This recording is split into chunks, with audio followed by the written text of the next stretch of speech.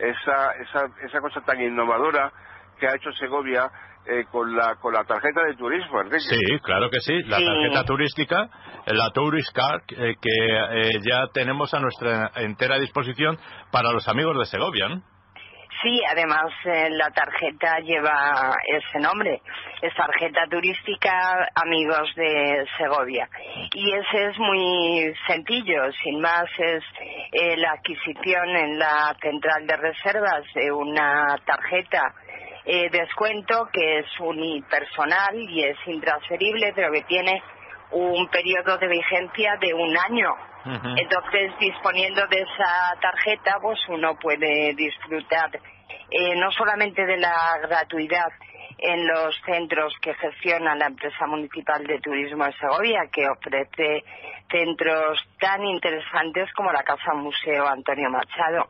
Eh, em, disfrutarlo gratuitamente y cuantas veces quiera a lo largo del año Ya lo creo. sino que tiene un 25% también en toda nuestra oferta de visitas guiadas Mm. y luego sustanciosos descuentos en más de 70 establecimientos de la ciudad de todo tipo, desde hoteles y restaurantes, pues a empresas de turismo activo, a tiendas, eh, digamos que, que bueno que permite disfrutar de una situación de privilegio, un descuento en buena parte de los establecimientos de la ciudad. Muy sobre bien. todo, sobre todo, Enrique, en lo gastronómico, Sí. los oyentes estarán Ujú. pensando, ¿eh? estarán los, los, los oyentes frotándose las manos. La Segovia, la, Segovia, la Segovia gastronómica con una tradición y además a la vanguardia de, en platos segovianos, ¿no?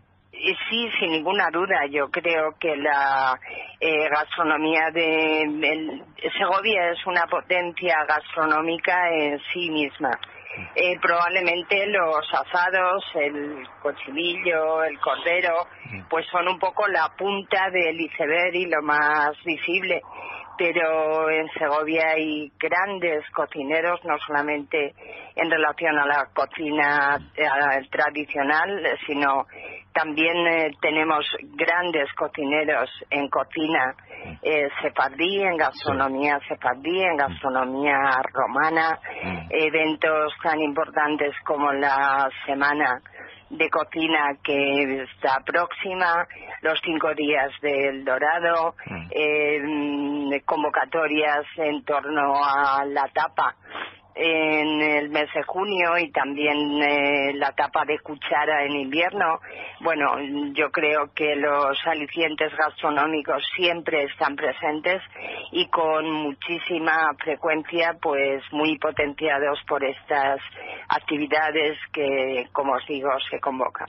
Eh, Segovia, siempre que uno habla de Segovia, el- le llega la imagen del acueducto, una auténtica maravilla mm, de, de más de dos mil años, ¿no? Pero hay que hablar también eh, del Alcázar, hay que hablar también de la catedral, hay que hablar también de la judería, que es una auténtica joya.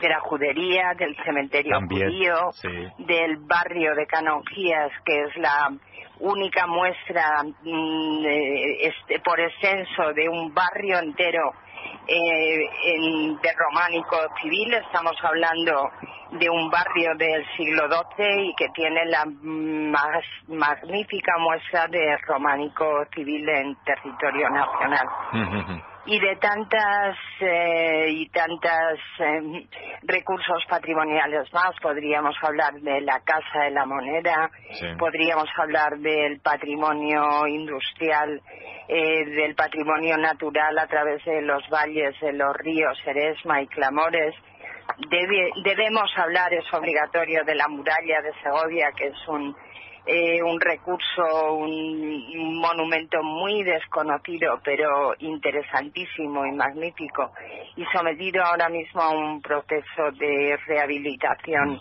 importante. Y bueno, podría seguir enumerando, pero yo creo que con esto ya tenemos Sí. para cubrir el más o menos tres, cuatro días de permanencia Ya- ya lo creo. Y- y y- comiendo bien. Exacto, y, y lo importante, lo importante, señora concejala, el compartir con los segovianos, que es gente extraordinaria. ¿eh? Lo sé, lo sé de buena tinta y lo sé porque lo he vivido. Yo creo que sí, nosotros eh, eh, somos gente de la H. Mm. Somos gente mm, humilde en el sentido de que yo creo que el segoviano nunca es pretencioso Mm. y mantenemos muy a gala la H de la honradez. Eso es. Entonces, eh, bueno, eh, un poco Segovia mm, recupera la dimensión humanística de una ciudad medieval con una luz increíble. Ahora mismo estoy en la calle viendo el perfil de, de la sierra de la mujer muerta, Mm, el pinarillo, una luz exquisita. Bueno, pues la luz de la que tanto habló María Zambrano Sí.